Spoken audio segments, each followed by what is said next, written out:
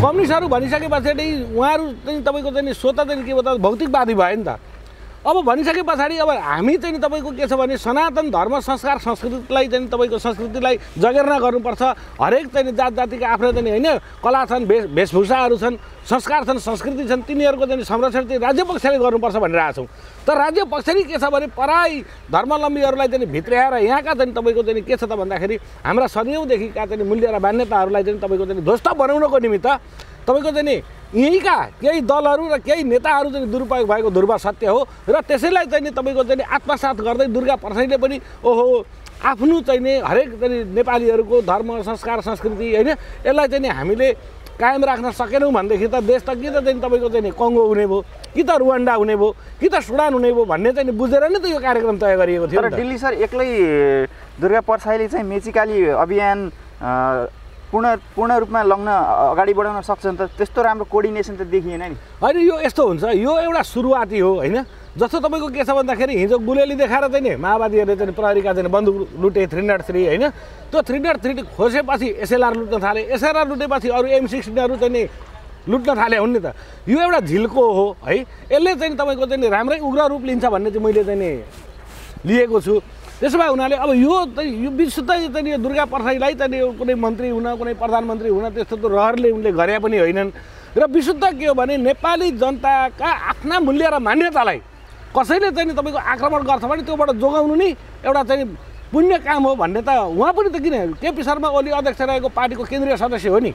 केपी शर्मा ओलीले ल ठिक छ नजा यदि चाहिँ केपी शर्मा ओलीको सानो चाहिँ हिङ्स थियो भनेदेखि त यहाँ त तपाईँको चाहिँ हिजोको जुन एउटा चाहिँ जनसागर देख्नु भएको छ नि तपाईँले त्योभन्दा त भीमका जनसा सागर उर्लिन्थ्यो नि त यहाँ।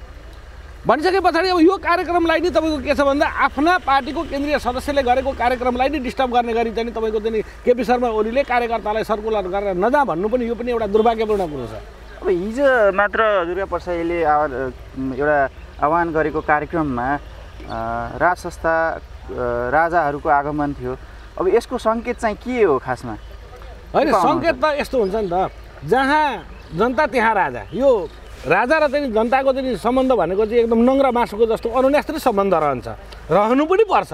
र जनताले के पनि बुझ्नुपर्छ भने हिजो चाहिँ नि राजा र जनता मिलेको अवस्थामा जुन चाहिँ तपाईँ हेर्नुहोस् पञ्चायत व्यवस्थालाई नै हेरौँ होइन पञ्चायती व्यवस्थामा पनि तपाईँको के थियो भन्दाखेरि जति पनि चाहिँ संरचना अहिले त तपाईँ मुलुक मेची महाकाली चाहिँ तपाईँ यात्रा गर्नुहोस्। जे जति संरचनाहरू हाम्रा चाहिँ निर्माण गरिएका थिए ती सबै चाहिँ के भयो त भन्दाखेरि राजाकै कार्यकालमा भएका थिए कि। त्यसो भए उनीहरूले ती संरचनालाई नि बिगार्नु थियो ध्वस्त पार्नु थियो जनतालाई बेरोजगार बनाउनु थियो देशलाई चाहिँ कङ्गाल बनाउनको निम्ति चाहिँ खटिएका खेतालाहरूका कुरा नेपाली जनताले सुनेर चाहिँ यो अवस्थाको सृजना भएको हो। अब तपाईँ आफै भन्नु जस्तो यो मेची महाकाली यो जुन तपाईँको चाहिँ नि महेन्द्र राजमार्ग चाहिँ छ नि यो एउटा चाहिँ पहिले के थियो भन्दाखेरि नेपाली जनताले पनि यो चाहिँ ध्रुव सत्य कुरालाई चाहिँ अङ्गीकार गर्न सक्नुपर्छ कि? जस्तो नेपाल तपाईँको चाहिँ पश्चिमबाट आउँदाखेरि पूर्वबाट आउँदा जाँदाखेरि पनि तपाईँको चाहिँ के छ भने आफ्नो देशको तपाईँको चाहिँ सडक प्रयोग नगरी हामीले चाहिँ के छ भन्दाखेरि तपाईँको चाहिँ भारतीय भूमि हुँदै चाहिँ तपाईँको राजधानी पुग्नुपर्ने अवस्थाको त चाहिँ अन्त्य त राजा महेन्द्रकै कारणले भयो हो नि त। त्यसो हुँदाखेरि हाम्रो चाहिँ नि के थियो भन्दाखेरि भौगोलिक एउटा जुन सद्भाव थियो होइन? सद्भाव पनि कायम रह्यो। हामी चाहिँ नि टाढा टाढा रहेका नेपालीहरूको पनि एउटा भावनात्मक सम्बन्धको विकास भयो यो सडकको कारणले गर्दाखेरि सडक सञ्जालको कारणले गर्दाखेरि। अब तपाईँको चाहिँ नि झापादेखि कञ्चनपुरसम्म म फेरि पनि मैले आग्रह गरेँ जुन चाहिँ बर्मामा तपाईँको चाहिँ नि असाध्यै दुःख पाएका त्यहाँका चाहिँ नि नेपाली भाषीहरूलाई तपाईँको के छ भन्दाखेरि उनीहरूले देश पाएनन् त्यहाँबाट भाग्नु पर्यो।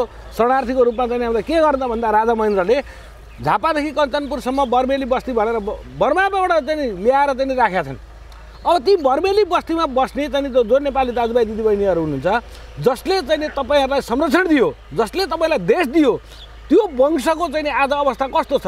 त्यो वंशको चाहिँ अवस्था चाहिँ तपाईँको अलिक धराशायी हुँदाखेरि त आखिर हाम्रो पनि त अवस्था त नाजुक हुँदो रहेछ नि त। त्यसो भए उनीहरूले यी कुरालाई पनि इतिहासलाई पनि तपाईँको चाहिँ नि होइन साक्षी राखेर अब बर्मेली जुन भनिन्छ होइन अब उहाँहरू नेपाली दाजुभाइ दिदीबहिनीहरूले पनि अब एउटा चाहिँ नि तपाईँको चाहिँ विद्रोहको चाहिँ स्वर चाहिँ निकाल्नु पऱ्यो ढिलेराम सर यहाँलाई कार्यक्रम स्वागत छ। हजुर धन्यवाद। अब हिजो मात्र युवराज पारसले चाहिँ प्रहरीमाथि दुर्व्यवहार गर्नुभयो भन्ने कुरा आछ। यसलाई कसरी लिनुहुन्छ तपाईँले? अहिले दुर्व्यवहारको कुरो होइन। त्यहाँनिर चाहिँ कस्तो हुन्छ भने भिड नियन्त्रण गर्नको लागि होइन जस्तो सुरक्षा अङ्गका चाहिँ नि होइन विभागीय चाहिँ कर्मचारीहरू खटेका हुन्छन्। त्यसमा चाहिँ तपाईँको के छ भन्दाखेरि खास गरी यो प्रशासनले पनि बुझ्नु पर्थ्यो। प्रशासनले नि नियोजित रूपमा चाहिँ नि युवराज पारसमाथि चाहिँ नि त्यो गम्भीर षड्यन्त्र गरे हो मेरो चाहिँ बुझाइमा। किन भन्दाखेरि जस्तो पहिले पनि एकपल्ट छोरा हृदयेन्द्र होइन। बाहिर जाने क्रममा त्रिभुवन अन्तर्राष्ट्रिय विमानस्थलमै है? आफ्नो हजुरआमासँग सँगै होइन? हजुर। त्यहाँ पनि चाहिँ दुर्व्यवहार त प्रहरीले गरे हो नि त। त्यसको पनि अब चाहिँ एक्सनमा त जानु पर्यो। भनिसके पछाडि कस्तो हुन्छ भने मुख्य गरी युवराज पारसलाई यो नेपाल प्रहरी जुन छ नि जनपद मन पर्दैन कि? यसको एउटा लामो किस्सा छ। तर यति बेला त आम जनताले चाहिँ के भनिरहेछ भने पारसले चाहिँ प्रहरीमाथि दुर्व्यवहार गरे भनेर आइरहेछ नि। दुर्व्यवहार होइन भने यो नबुझिया हो कि? यो कुरो के हो भने जस्तो तपाईँहरूलाई म यस- यसको एउटा सानो हिस्ट्री भनिदिन्छु। दुई हजार सत्र सालमा राजा महेन्द्रले चिनसँग एग्रिमेन्ट गरेका थिए कि? हजुर। यो कोदारी राजमार्ग। त्यो राजमार्ग बनाउने क्रममा के भएको थियो भने निर्माण सामग्रीहरू चितवनमा पनि ल्याएर राखिएको थियो होइन? अब बिपी कोइराला स्वयंले चाहिँ नि उनको फेरि सुन्दरी जल भन्ने पुस्तकमा लेखेका छन्। त्यो चाहिँ नि बाटो चाहिँ नि बनाउँदाखेरि तपाईँहरूले सुन्नुभयो होला।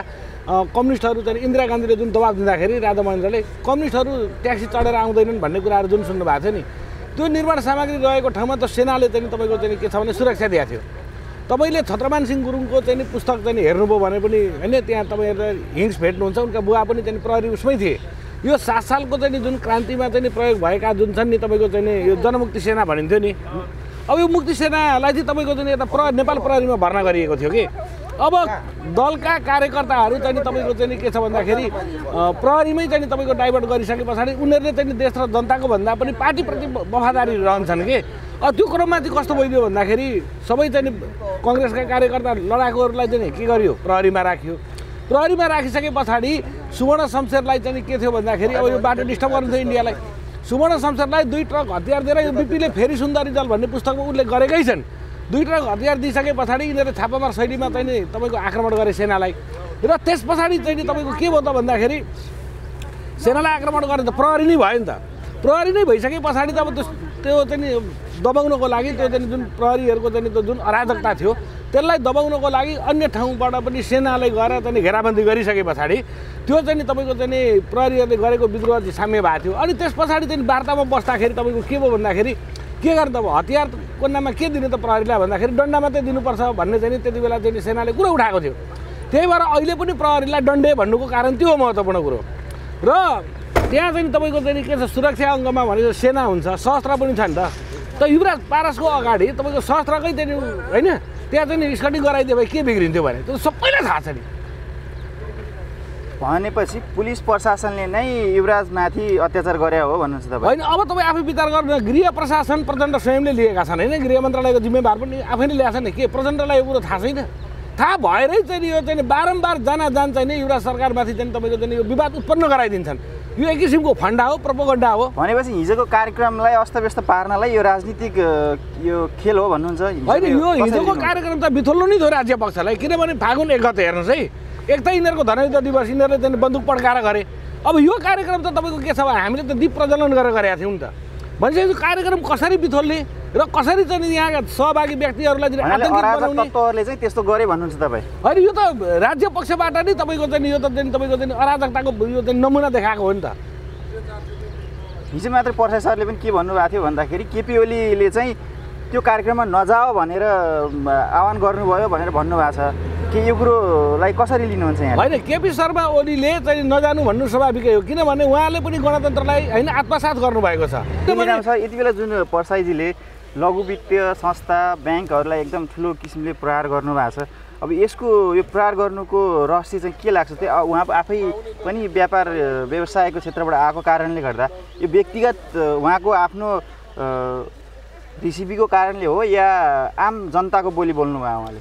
होइन यो त अहिले तपाईँको चाहिँ नि फेरि पनि भने हिजो जुन माओवादीले चाहिँ नि होइन तपाईँको फागुन एक गतेदेखि जुन जनयुद्ध भनेर सुरु गरेको थियो नि त तपाईँको सत्र हजार होइन दस वर्षमा? सत्र हजार माओवादीको कारणले मरे। अहिले चाहिँ तपाईँको ब्याङ्कको चाहिँ नि यो चर्को दबाब यो चर्को ब्याज र चर्को दबाब जुन टचर दिइरहेको छ नि त यो कारणले गर्दाखेरि सरदर अहिले तपाईँको चाहिँ नि माओवादीको दस वर्षमा पाँचजना मर्थे। होइन भने अहिले उन्नाइसजनाले आत्महत्या गर्नु परेको छ।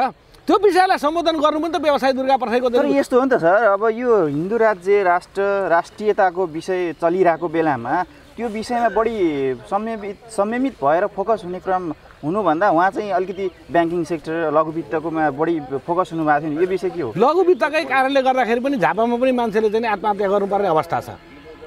तपाईँको चाहिँ उत्पादन गरिएका चाहिँ तपाईँको चाहिँ नि वस्तुहरू कहाँ खोइ? बजार खोइ? सरकारले कहाँ चाहिँ व्यवस्थापन गरिदियो? लगेर चाहिँ ऋण थुपारिदिएको छ समूहमा।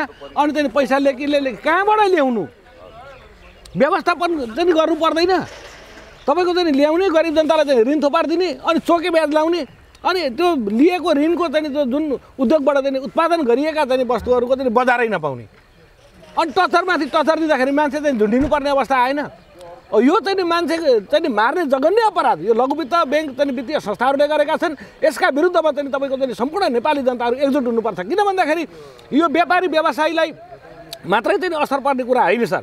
यो चाहिँ कस्तो हुन्छ भने जस्तो अठार उन्नाइस पर्सेन्ट चाहिँ तपाईँको चाहिँ ब्याज पुर्याइसके पछाडि ब्याङ्कले हेर्नु कतिसम्म अपराध गर्छ भने जस्तो तपाईँले चाहिँ नि दुई पर्सेन्टमा चाहिँ ब्याङ्कमा फिक्स डिपोजिट राख्नु भएको छ एक करोड रुपियाँ हो। त्यही एक करोड रुपियाँबाट तपाईँले राख्ने मैले लिने हो नि त ब्याङ्क। यसरी चल्ने हो नि त। एउटाले राख्ने अरूले चाहिँ तपाईँको चाहिँ लिने। अब मलाई चाहिँ उन्नाइस पर्सेन्टसम्म पुर्याइदिन्छ। अनि तपाईँलाई चाहिँ दुईदेखि तिन पुर्याउँदैन। भनेपछि यो त सिधा डकैती हो नि त ब्याङ्क हो। त यसका विरुद्धमा चाहिँ बोल्नु भनेको चाहिँ तपाईँको चाहिँ दुर्गा प्रसादले के अपराध गरे? र तपाईँको चाहिँ जस्तो मैले चाहिँ ब्याङ्कबाट कुनै एउटा उद्योग मैले सञ्चालन गरेँ मेरो चाहिँ अब तपाईँको के छ भन्दाखेरि सामग्री। यो त जनतालाई कसरी असर पर्छ भने अठार पर्सेन्ट ब्याज चाहिँ ब्याङ्कलाई बुझाइसके पछाडि लिएको पैसाले त अठार पर्सेन्ट त उपभोक्तालाई थप्ने हो नि त मैले। अनि चरम मूल्य वृद्धिको चाहिँ नि असरले गर्दाखेरि आम सर्वसाधारण जनताका कतिपयका घरमा चाहिँ नि चुलो बल्न नसक्ने अवस्थाको चाहिँ सिर्जना सिर्जना गरेको छ ब्याङ्कहरू र वित्तीय संस्थाहरूले।